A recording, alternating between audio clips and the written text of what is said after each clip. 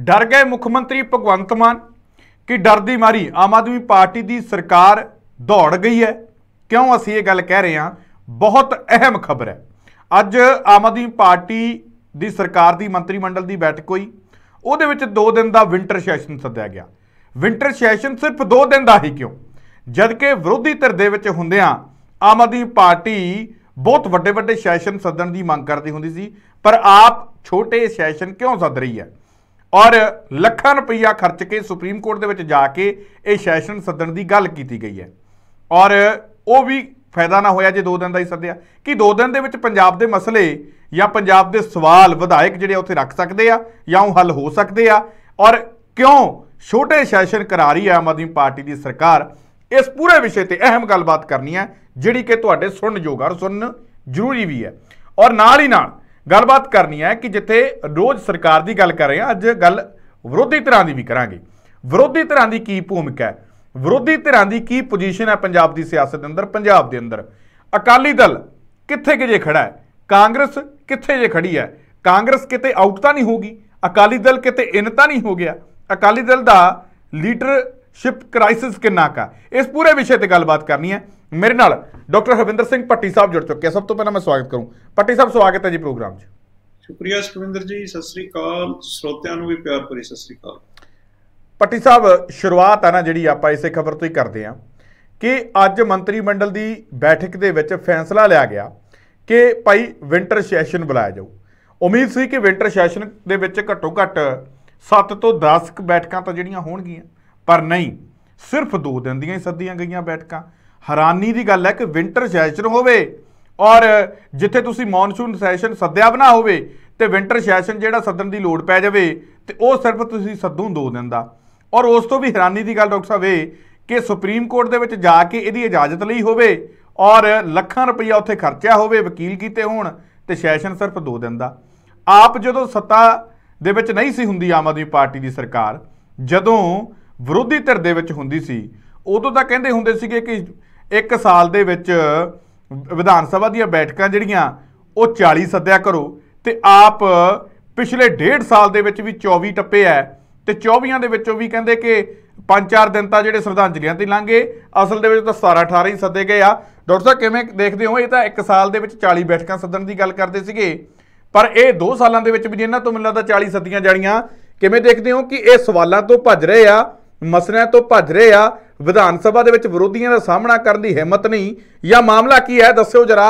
ਇਹ ਪਹਿਲਾਂ ਸਿਚੁਏਸ਼ਨਾਂ ਕੁਝ ਹੋਰ ਸੀ ਅੱਜ ਸਿਚੁਏਸ਼ਨਾਂ ਬਦਲ ਕਿਉਂ ਰਹੀਆਂ ਨੇ?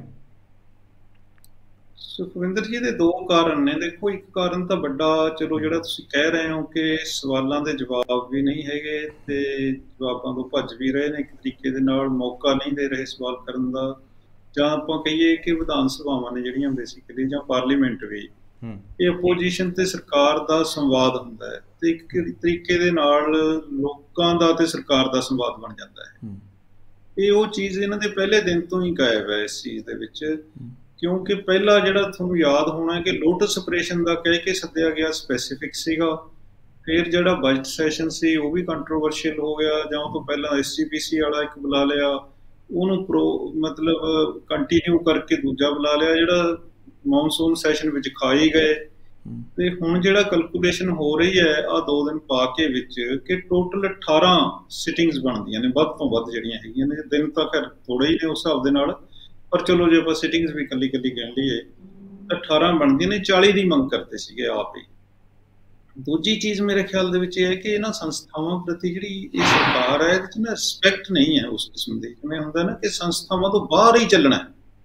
ਜਿਵੇਂ ਜਿਹੜੀ ਉਹ ਪੰਜਾਬ ਬੋਲ ਦਾ ਡਿਬੇਟ ਵੀ ਕਰਾਈ ਗਈ, ਚਾਹੀਦਾ ਤਾਂ ਹੁੰਦਾ ਕਿ ਪੁਰਾਣਾ ਰਿਵਾਜ ਸੀ ਇਹ, ਕਿ ਕੋਈ ਅਹਿਮ ਮਸਲਾ ਹੈ, ਤੁਸੀਂ ਆਲ ਪਾਰਟੀ ਮੀਟਿੰਗ ਸੱਦੋ। ਉਹਦੇ ਚ ਕਾਮਨ ਇੱਕ ਅੰਡਰਸਟੈਂਡਿੰਗ ਬਣਾ ਲਓ। ਚਾਹੇ ਉਹ ਐਸਵਾਈਐਲਸੀ ਚਾਹੇ ਅਪਰਾਲੀ ਦਾ ਮਸਲਾ ਕਿਸੇ ਚੀਜ਼ ਦੇ ਉੱਪਰ ਵੀ ਇਹ ਟੋਟਲ ਸੰਵਾਦ ਟੁੱਟ ਗਿਆ ਹੈ। ਪੋਜੀਸ਼ਨ ਦੇ ਨਾਲ ਜੇ ਸੰਵਾਦ ਹੈ, ਤਾਂ ਉਹ ਵਿਵਾਦ ਹੈ ਅਸਲ ਚ। ਇੱਕ ਦੂਜੇ ਨੂੰ ਗਾਲਾਂ ਗਲੋਂ ਕੱਢਣ ਦਾ ਮਸਲਾ ਹੈ। ਇਵੇਂ ਜਿੰਨੇ ਸੈਸ਼ਨ ਹੋਏ ਨੇ, ਉਹਨਾਂ ਦੇ ਵਿੱਚ ਤੁਸੀਂ ਦੇਖੋਗੇ ਕਿ ਕੁਐਸਚਨ ਕਰਨ ਦਾ ਮੌਕਾ ਨਹੀਂ ਦਿੱਤਾ ਪਰ ਜੇ ਕੋਈ ਮੜੇ ਮੋਟੇ ਕਿਸੇ ਨੇ ਕੁਐਸਚਨ ਕਰੇ ਵੀ ਉਹ ਪਰਸਨਲੀ ਵਾਕਆਊਟਾਂ ਚ ਝਗੜਿਆਂ ਦੇ ਵਿੱਚ ਨਿਕਲੇ, ਪਤਾ ਨਹੀਂ ਕਿਉਂ ਇਹ ਮਤਲਬ ਸੱਤਾ ਧਿਰ ਦੇ ਵੀ ਆਪੋਜੀਸ਼ਨ ਦਾ ਵੀ ਇਹ ਕੁਦਰਤੀ ਹੋ ਹੀ ਜਾਂਦਾ ਹੈ ਕਿ ਕਲੇਸ਼ ਮਨ ਦੇ ਵਿੱਚ ਬਹੁਤ ਸਾਰਾ ਜਿਹੜੀਆਂ ਗੱਲਾਂ ਉਦੋਂ ਕਹਿੰਦੇ ਸੀ ਉਦੋਂ ਬਿਲਕੁਲ ਭੁੱਲੇ ਹੀ ਗਏ ਜਮਾ।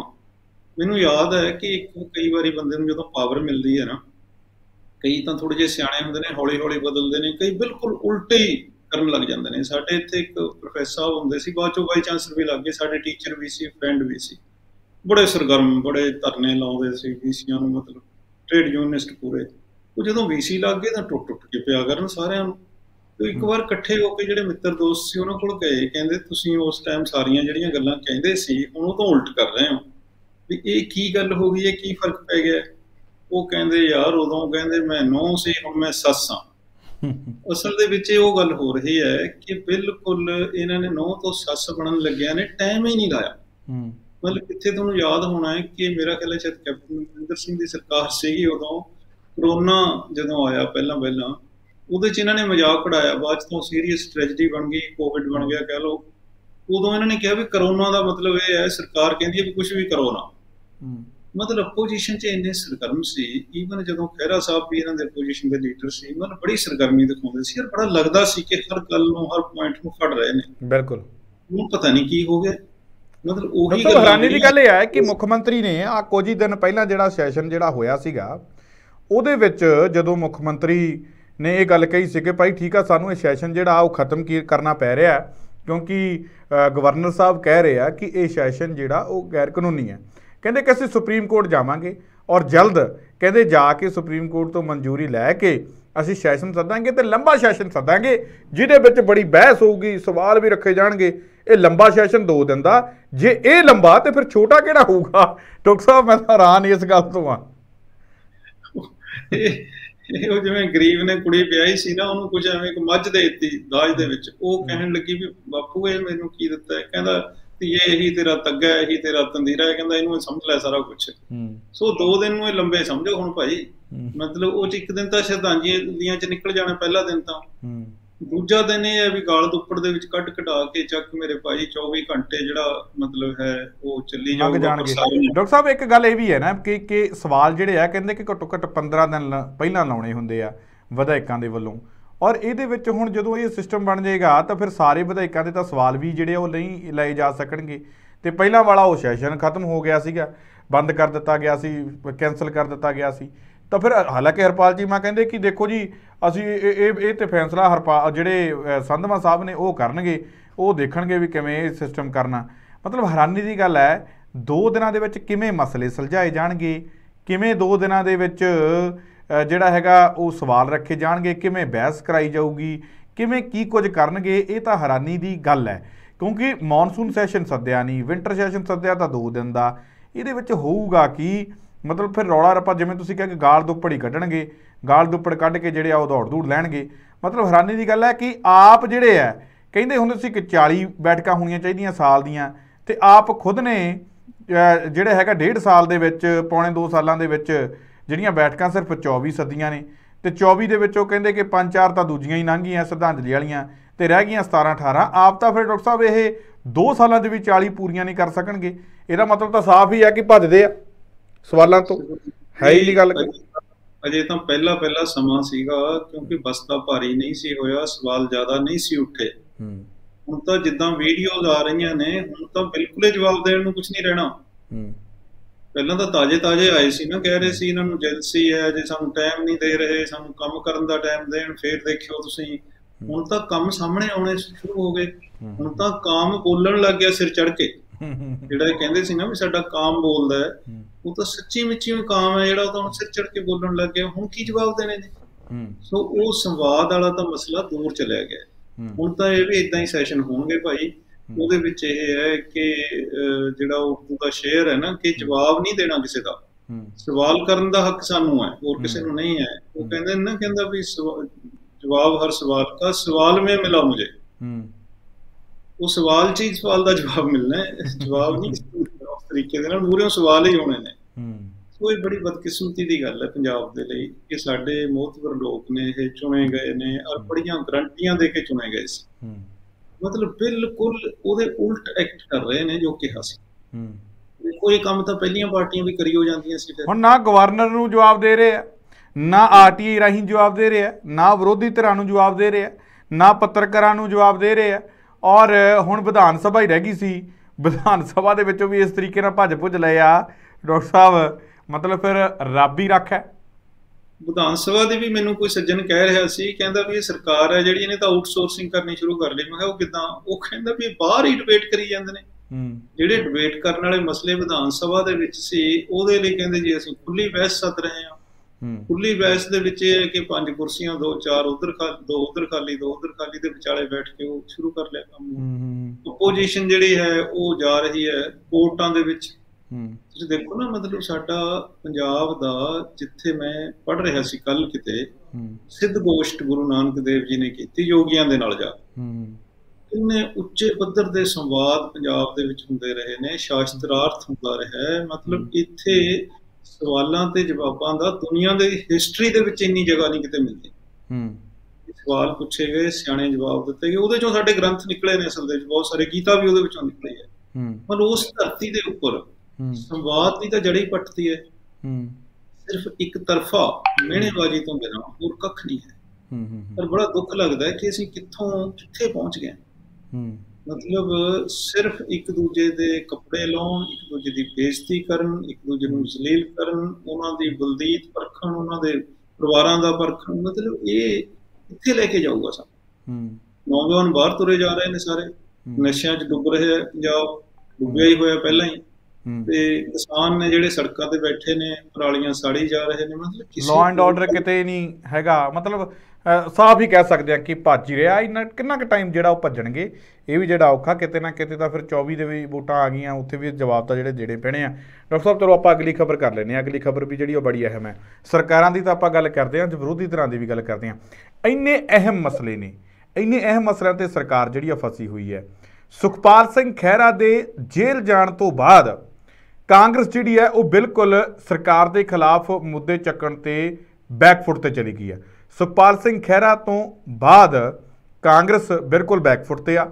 ਇੰਜ ਲੱਗ ਹੀ ਨਹੀਂ ਰਿਹਾ ਕਿ ਕਾਂਗਰਸ ਪੰਜਾਬ ਦੇ ਵਿੱਚ ਵਿਰੋਧੀ ਧਿਰ ਹੈ। ਔਰ ਦੂਜੇ ਪਾਸੇ ਅਕਾਲੀ ਦਲ ਦੇ ਵਿੱਚ ਬੇਸ਼ੱਕ ਜਿਹੜਾ ਉਹ ਲੀਡਰਸ਼ਿਪ ਕ੍ਰਾਈਸਿਸ ਹੈਗਾ ਪਰ ਜਿਸ ਤਰੀਕੇ ਦੇ ਨਾਲ ਸੁਖਬੀਰ ਔਰ ਵਿਕਰਮ ਸਿੰਘ ਮਜੀਠੀਆ ਭੱਜ ਦੌੜ ਕਰ ਰਹੇ ਆ, ਔਰ ਜਿਸ ਤਰੀਕੇ ਨਾਲ ਤੱਥਾਂ ਤੇ ਵਿਕਰਮ ਸਿੰਘ ਮਜੀਠੀਆ ਜਿਹੜੇ ਆ ਉਹ ਪ੍ਰੈਸ ਕਾਨਫਰੰਸਾਂ ਕਰ ਰਹੇ ਆ, ਸਰਕਾਰ ਨੂੰ ਘੇਰ ਰਹੇ ਆ। ਇੰਜ ਨਹੀਂ ਲੱਗ ਰਿਹਾ ਕਿ ਸੁਖਬੀਰ ਅਤੇ ਮਜੀਠੀਆ ਨੇ ਅਕਾਲੀ ਦਲ ਨੂੰ ਮੇਨ ਆਪੋਜੀਸ਼ਨ ਦੇ ਵਿੱਚ ਲਿਆ ਕੇ ਖੜੇ ਕਰ ਦਿੱਤਾ ਔਰ ਕਾਂਗਰਸ ਜਿਹੜੀ ਹੈ ਖੈਰੇ ਤੋਂ ਬਾਅਦ ਹੁਣ ਬੈਕਫੁੱਟ ਤੇ ਚਲੀ ਗਈ ਹੈ ਔਰ ਮੇਨ ਆਪੋਜੀਸ਼ਨ ਵਾਲੀ ਥਾਂ ਤੋਂ ਜਿਹੜੀ ਖਿਸਕ ਗਈ ਹੈ, ਮੈਂ ਇਹ ਨਹੀਂ ਕਹਿੰਦਾ ਕਿ ਅਕਾਲੀ ਦਲ ਵੋਟਾਂ ਦੇ ਵਿੱਚ ਜਾਂ ਕਹਿ ਲਓ ਕਿ ਚੋਣਾਂ ਦੇ ਵਿੱਚ ਕਿਸੇ ਪਾਰਟੀ ਤੋਂ ਅੱਗੇ ਲੰਘ ਗਿਆ ਜਾਂ ਪਿੱਛੇ ਰਹਿ ਗਿਆ।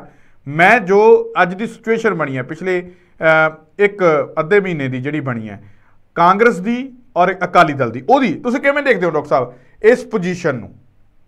ਦੇਖੋ ਸੁਖਵਿੰਦਰ ਜੀ ਬੇਸਿਕਲੀ ਪ੍ਰਾਇਮਰੀ ਆਪੋਜੀਸ਼ਨ ਤਾਂ ਕਾਂਗਰਸ ਦੀ ਹੀ ਬਣਦੀ ਸੀਗੀ ਤੇ ਗਿਣਤੀ ਵੀ ਉਹਨਾਂ ਦੀ ਥੋੜੀ ਜਿਹੀ ਬੈਟਰ ਸੀ।